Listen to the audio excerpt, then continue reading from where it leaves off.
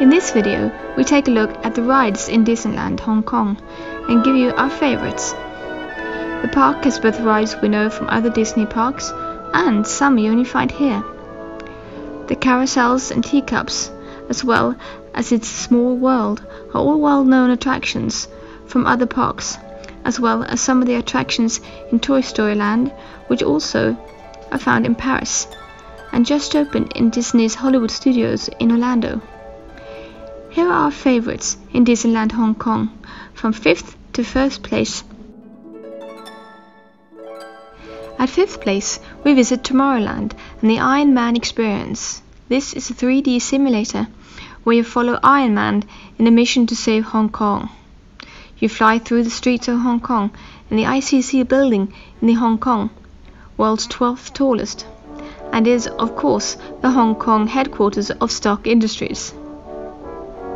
At fourth place, we visit Toy Story Land and the RC Racer. This is a giant toy race car which races back and forth on a 180 degree, 27 meter tall U-shaped track where you can challenge gravity.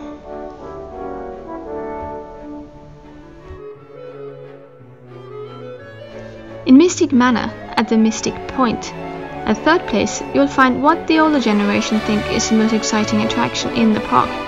A very advanced trackless ride where the wagons move independent of each other. Like the Ratatouille ride in Paris.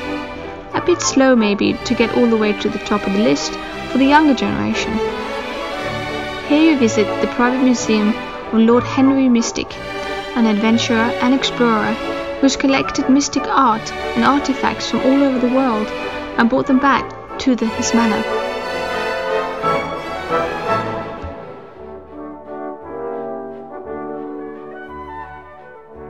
In second place, we return to Tomorrowland and the Hyperspace Mountain.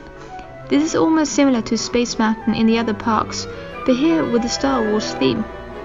It's an indoor roller coaster in the dark, but very cleverly made. It starts off slowly, so you may think it's a calm tour among Star Wars effects, but soon you ditch that idea. The speed increases, the turns comes faster and more often, and in the end, you're impressed by how much they managed to put into the ride and the building. At first place, we end up in Grizzly Gulch, where the main attraction is the big Grizzly Mountain Runaway Mine cars. This is a classic roller coaster, which normally should not be enough to conquer our first place.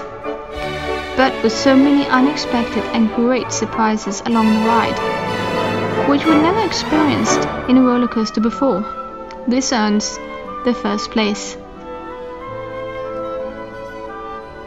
So if you visit Disneyland Hong Kong, make sure to at least try these five attractions among all the others.